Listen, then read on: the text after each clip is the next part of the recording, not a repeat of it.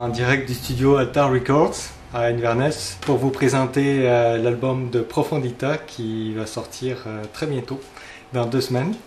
Et hier j'ai eu la chance euh, de recevoir la nouvelle track de ces gars-là.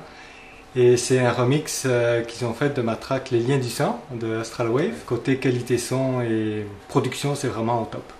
Alors on écoute ça tout de suite.